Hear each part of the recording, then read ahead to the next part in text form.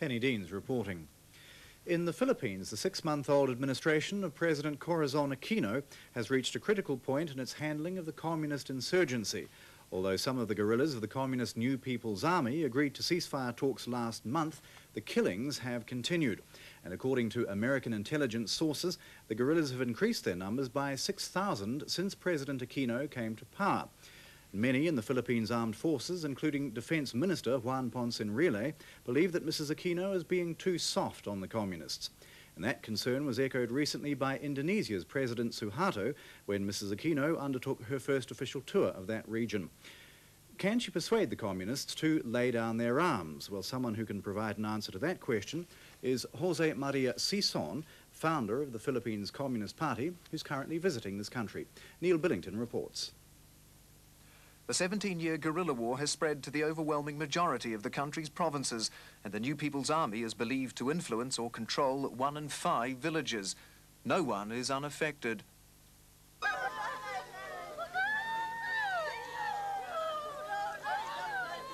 With the killings continuing at the same rate as under Marcos rule, the guerrillas present a real threat to the Aquino administration, and experts predict that if unchecked, the war would turn the country into another Laos, Cambodia, or Vietnam.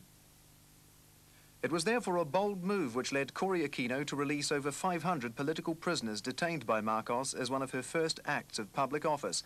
Defence Minister Enrile said he would not be responsible, and the military were alarmed to see communist leaders like Jose Maria Sison go free. You cannot expect us to uh, take one single uh, uh, ceasefire. When they fire at us, uh, then we will have to fire back and pursue them, isn't it? That's the rule of the game. It's strong words like this which remind the communists that the army they're dealing with is still very much the same armed forces as under Marcos, and for that reason, committed communists are reluctant to lay down their arms.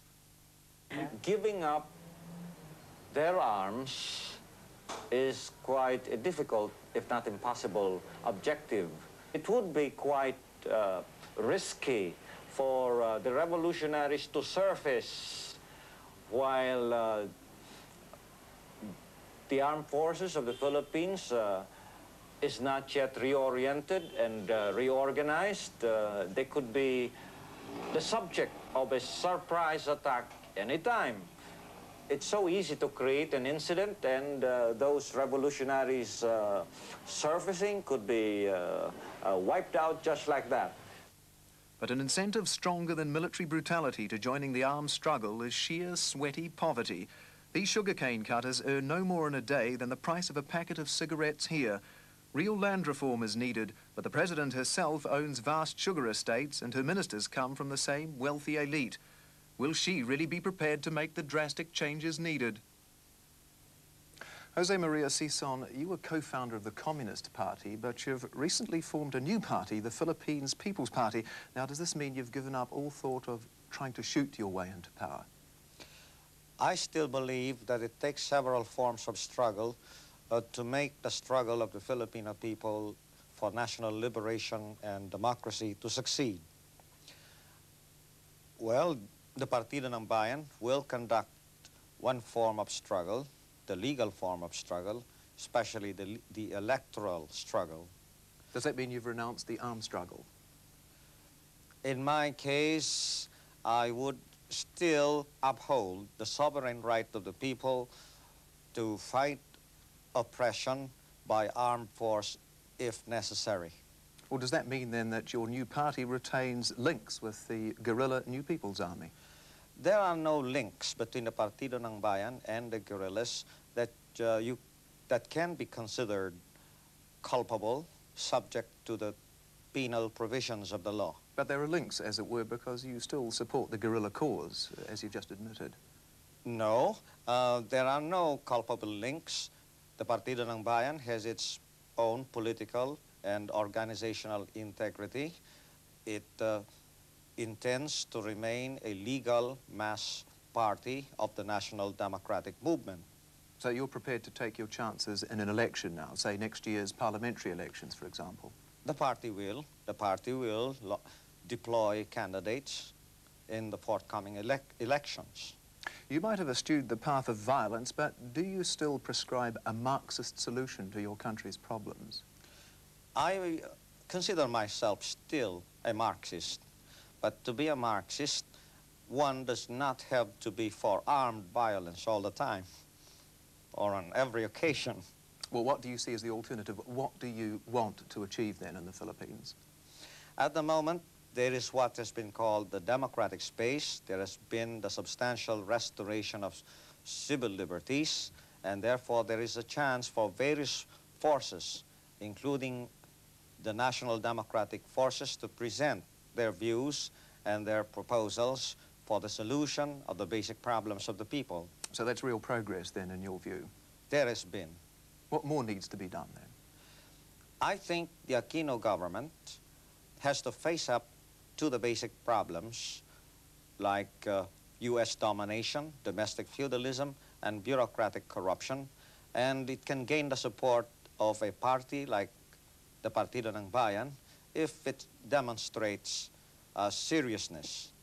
I mean, if the Aquino government uh, demonstrates that it is willing to solve those problems. But if she goes uh, too far in that direction along the lines that you would like, the, the lines of the broad left, does she not risk uh, some sort of reaction from the, the still very strong right-wing forces in the Philippines, and in particular the armed forces? I think the growth of strength um, of the National Democratic Forces would serve to guarantee and enhance the relative stability of the Aquino government. We must remember that the United States allowed the Marcos fascist dictatorship to fall because of the fear that had Marcos stayed any longer in power, the armed revolutionary movement and the entire national democratic movement uh, uh, would become stronger and would uh, move towards victory. And uh, the United States would not give the go signal to any fascist military group uh, to seize power because this would bring back the Marcos type situation. This so, would accelerate the armed revolution. So would you be prepared then to, to work alongside the Aquino administration, not to undermine it, at the risk of provoking some sort of right-wing coup? We are prepared to support the Aquino government, especially against attempts to restore fascism. We would support the Aquino government to the extent that it is willing to uh, work for the national and democratic interest of the people. And we are also willing to criticize the Aquino government where it has shortcomings with the end in view of encouraging um, it to uh, well, well, lastly then, work for the interest of the people. How far do you think you will be able to go in making those sorts of criticisms without, say, landing yourself back in jail? Well, uh, um, we can even go as far as to ally ourselves with the Aquino government on positive measures in the interest of the people. And whenever we make criticism, it would be uh, with some amount of restraint so as to maintain the alliance. Jose Maria Sison, thank you very much. Yes. Neil with Filipino Communist Party founder Jose Maria Sison. Coming up